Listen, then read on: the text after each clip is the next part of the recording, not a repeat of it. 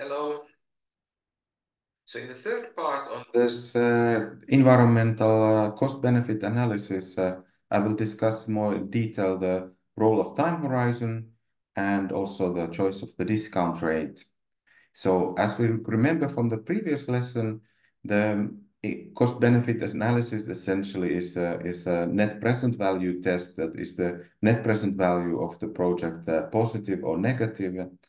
So to calculate the net present value, of course, the discount rate and time horizon are very, very important. So I took this table to illustrate that how big impact the discount rate and the time horizon can make. Uh, make uh, and uh, this is from an article by, by O'Mahony in 2021.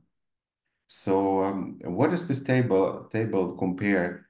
Like suppose that there is just a, a constant uh, long-term flow of uh, 1,000 US dollars per year. So every year, this uh, this this kind of project would pay 1,000 euros.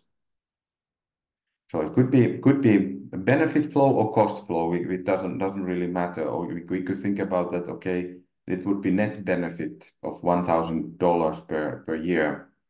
So um, Maybe it is illustrative to start from the rightmost column where the discount rate is zero.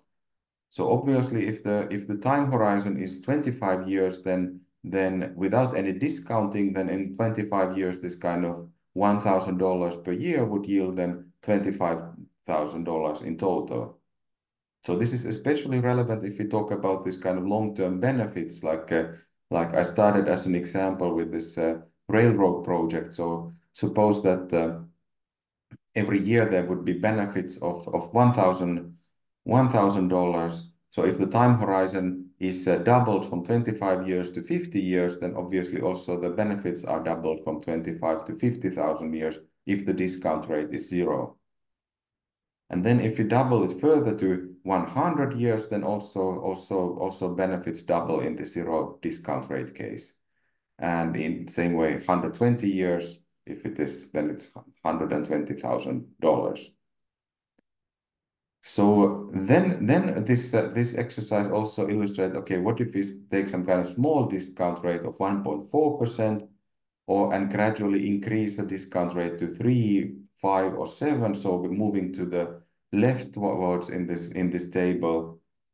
We see that, of course, this uh, this kind of uh, discounted value of this kind of uh, cash flow becomes smaller and smaller the higher the discount rate is. Uh, and interestingly, when we put the 7% discount rate, then, then in some sense the time horizon start to lose a little bit its meaning. So for example, uh, the difference between 50 years or 100 years or even 120 years uh, becomes already almost negligible when the discount rate is as high as 7%.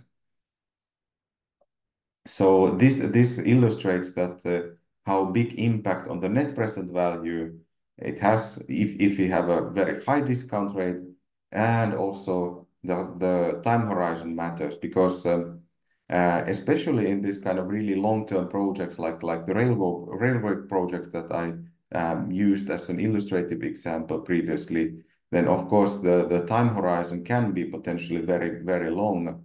Even even 120 years might be might be a relatively short time span for for a, railway investment. So this this illustrates the impact that both time horizon and the the discount rate make make on the on the project. The following figure it, it's it's just the same example, but now in graphical terms. So here we have this uh, four lines representing alternative uh, discount rates and then on the on the horizontal axis, we have uh, have years. So this indicates the time horizon. So the topmost uh, line is this uh, with the smallest discount rate of 1.4. The thickest solid line is the in, indicates the 3% discount rate. And the lowest one is when we use the 7% discount rate. So notice how these uh, curves become very flat. So if we have a 3% discount rate, then already like after 50 years or so, then any anything that happens after after 50 years will probably not matter almost nothing. It becomes completely marginal. When we when we have this 5%, uh, uh, it is this dashed line, this kind of um, a second from the bottom, then somewhere around 85 or 90 years, then then there's like no impact whatsoever. And and the same, of course, if we have 3% discount rate also. But notice that when we have 1.4 percent, then it still continues to capture these uh, impacts uh, after after 100 years also. So because this uh, this kind of uh, choice of the discount rate, it can really make a huge difference in the net present value, and hence also the the fact that will would uh, would the project be implemented or not then obviously for the for the policymakers, they should have some kind of guidelines that what kind of discount rate should be used, and and the discount rate shouldn't just change from one project to another.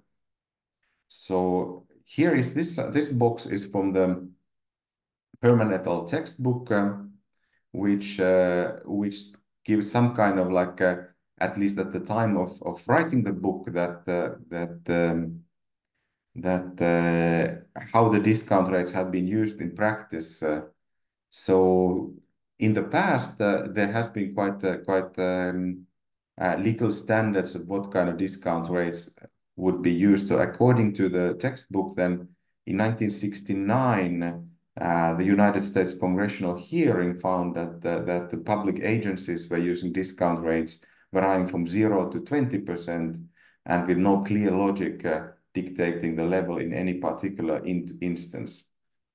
So as a result, then then in many countries there there are nowadays some guidelines that uh, that what kind of discount rates would be should be used in this kind of um, uh, by, by public agencies. So then in this box there's also some some uh, values indicated for the UK. So uh, so it was uh, uh, in 1988, uh, the UK Treasury used the sort of so-called test discount rate of 5%. So test refers to this net present value test. Uh, then it increased to 6% and was already about 8%. Uh, so if we compare to this O'Mahony's uh, case, then, then where this O'Mahony considered 7% discount rate in this big figure, so notice that when the discount rate is so high as 6 or 8%, uh, then anything that occurs after 50 years of the of the of the project will be like uh, having a very very marginal impact if any so obviously the the interest rates were also very high in the in the late 80s early early 90s so in this this table is again from this O'Mahony's article reviewing some of the discount rate guidance in, in, in selected OECD countries. So, so here's also some, some uh, countries from the continental Europe. Uh, and notice that more recently, so this refers to the OECD publication from 2018. So, so more recently, the discount rates have been smaller in the short to medium term. So, so the middle column refers to short to medium term, and and there are values like 3.5 in the in the UK, uh, 2% in the U USA, 2.5 in France, Norway, Netherlands, 3%. Uh, so so these are already like much more moderate, and uh, obviously it also matters that the uh, interest rates after the after the financial crisis and the resulting greater recession have been very very low or close to zero. And an interesting finding also in this in these uh, more recent guidelines is that in many countries then the the there's two there's separate interest rate for the short term and then then notice that in the long term then then for example in the UK this interest rate decreases to 1% after 300 years. Um, in France, uh, then then uh, risk-free rate declines to 1.5% uh, for 75-year horizon. And then in Norway, for example, after 100 years, then there is there is 1%. So I interpret that in Norway, they apply 3% 3% discount rate up to 100 years, and then after 100 years, lower 1% discount rate. So, and then in the Netherlands, the discount rate is more smoothly, uh, smoothly declining.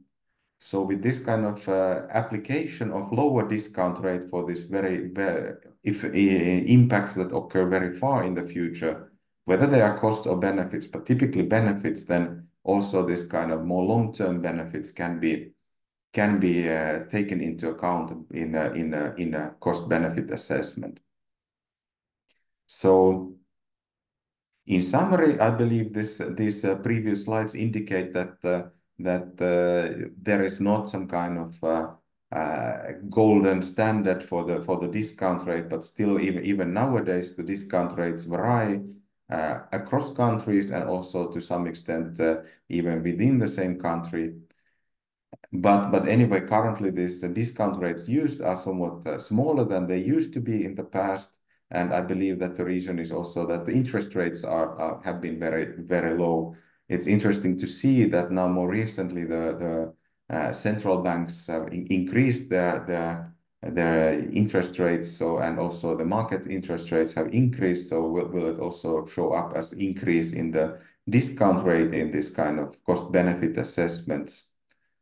Although it's, somewhat a different issue, but, but still it seems that this kind of uh, uh, market interest rates influence that what kind of uh, what kind of discount rates seems appropriate even in this kind of kind of long-term projects.